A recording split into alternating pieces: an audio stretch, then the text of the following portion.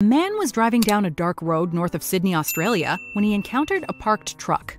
A hooded man then approaches the car, and the driver slows down. As the car passes the hooded man, he screams into the window, and the driver speeds away in total fear. The Newcastle Herald reports that the driver's wife, who was driving about a minute behind, was also accosted by the hooded man. The anonymous woman told the paper, quote, I almost stopped before I could go around this guy. And as we went past, he just lunged at our door. The police were called and found the man sleeping inside the truck. He was charged with possession of crystal methamphetamine.